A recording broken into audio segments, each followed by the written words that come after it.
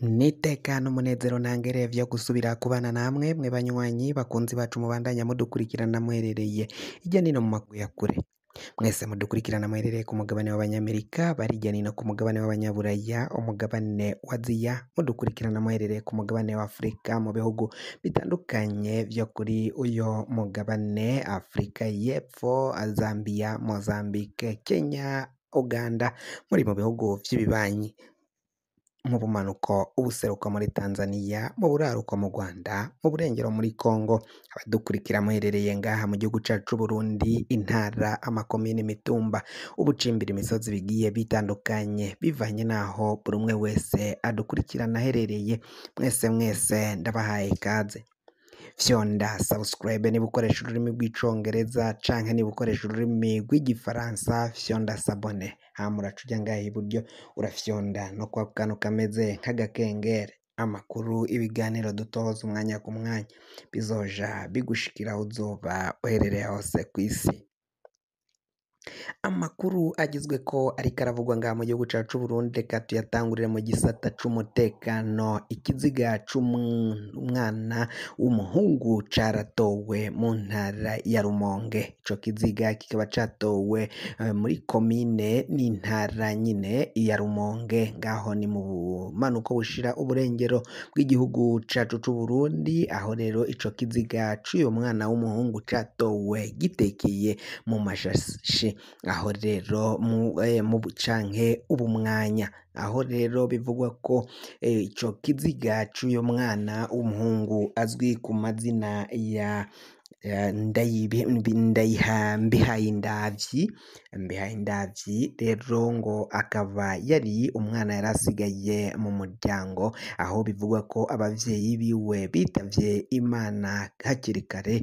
yaregwa na mukase wundi bari barasigaranye kuko ngo nyina avyara uwo mwana yari yarapfuye mbere ise azana uyundi mugore uyu mugore nawe bakimara kubana n'uyu se w'uyo Nda- Mbihayindavyi uyo se nawe yaje kwitaba Imana.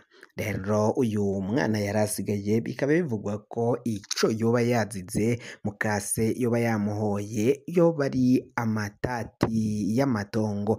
Bikaba bivugwa ko uyo mukenyezi mukase rero yaciye atabwa muri yompi ajanwa gupfungwa mu biro vy'iperereza aho hariko arakorwa ko amatohoza kugira ngo hamenyekane niba ari we yoba afise uruhara muri urwo rupfu rw'uyu mwana Mbihayindavyi. Umwana w'umuhungu yarakwije imyaka cumi n'itandatu. Benshi rero bakaba bashavujwe n'urwo rupfu. Tuve mu gisata c'umutekano. Reka tunyarukire ngaho.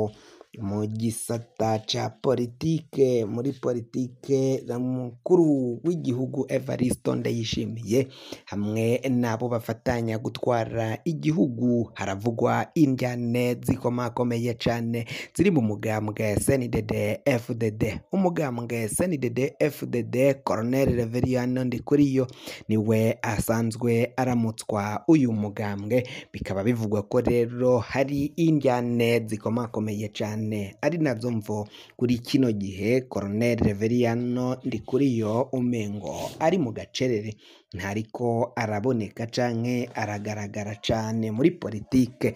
Biraboneka ko akanye cane. Ivyo vyose ngo bizoba ari indyane ziri hagati y'abategetsi bakomeye cane mu gihugu c'u Burundi aho rero bivugwa ko umukuru w'umugambwe CNDD FDD Colonel Reveriyano Ndikuriyo yoba atekewe n'icoba inyuma yo kugabishwa bikomeye cane agabishijwe n'uyu no- na bamwe mu kagwi k'abajenero aho babona ko rero Reveriyano Ndikuriyo yitwara nk'aho ari we agomba kuzasubirira umukuru w'igihugu. Mbere hamwe na hamwe yaratanga amategeko agatanga amabwiriza ameze nk'ayo umukuru w'igihugu Evaristo Ndayishimiye. Izo njyane zikomeye rero kuri ubu bakaba bavuga ko zifatiye ku bintu byinshi cyane ubuzima bw'igihugu butandukanye. Haravugwa kandi no kuba uyu Colonel Reveriyano Ndikuriyo yoba yarakoreye mu bajejwe eh, ishirahamwe ry'inkino ngaha mu gihugu c'u Burundi hama bagaca bategura amahiganwa ihiganwa rya Nkurunziza na Coupe di Perezida. Coupe di Perezida baravuga ko rero ngo bayihaye agaciro gatoyi ugereranyije n'agaciro bahaye irushanwa rya Nkurunziza Cup. Ivyo rero ngo vyarafatiye kuri ayo matati ngo mbere hari n'imigwi yanse kwitaba ayo mahiganwa bivanye n'uko vyaboneka ko hari indyane zikomakomeye cane zinyegeje inyuma mu bategetsi batwaye kino gihugu cacu. C'u Burundi ivyo bikaba gushikamangaya biteye ubwoba kandi biteye amakenga. Ubwavyo biraboneka ko abo bategetsi abo batware batwaye igihugu c'u Burundi aho bagwaniye ari bizohava bikurura indyane zikomeye cane. Bifatiye kuri iyo migwi y'amakipe canke iyo migwi y'imipira w'umupira w'amaguru harimwo i- umugwi wa Bumamuru ngaho mu ntara ya Cibitoke uwo mugwi ukaba wegukira uyu uyu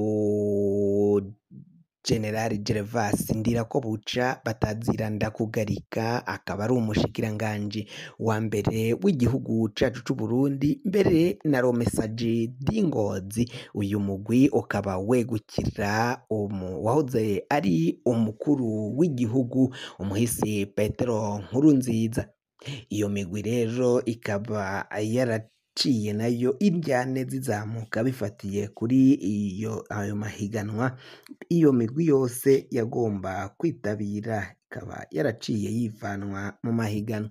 Kuko vyaboneka ko harimwo indyane zikomeye kandi zizohava zifata no mu migwi yabo banka kuyitabira ayo mahiganwa. Nkurunziza Cup na Coupe di Perezida kuri ubu ngubu rero reka tunyarukire eh, mu gisata. C'ubutunzi. Eh, wajya hamwe canke yo mu muryango wa Komesa Komesa ibihugu vyo mu bumanuko inama ikaba yateraniye ngaha mu gisagara ca Bujumbura mu bijanye n'ubutunzi. Aho rero bariko bariga ukungene bashobora kurangura no kuzahura bakazamura canke bakaduza ubukungu. Biboneka ko muri kino gihe ubukungu bwahungabanye. Uburundi ni kimwe mu bihugu ubukungu bwahungabanye mu bihugu vya mbere kuko Uburundi buza mu bibanza vy'imbere mu bintu bibi cane. Hoba mu nzara ubukene ubu iteranyuma canke kuba nta terambere riri ngaha mu gihugu c'u Burundi. Ivyo vyose bikaba bigenda vyerekanwa n'ukungene igihugu cifashe. Kuri ubu rero iyo nama ikaba yateraniye mu Burundi. Bakaba bari kwiga ukungene bashobora kuduza ubukungu bw'ibihugu vyabo. Cane cane abahurikiye muri rirya shirahamwe rya Komesa nk'uko bivugwa. Bavuga ko ni Common Market for South Africa. Ibihugu biri ngaho mu bumanuko bwa Afurika rero bakaba ari isoko rimwe canke isoko rusangi nk'uko biriko biragenda bitangazwa.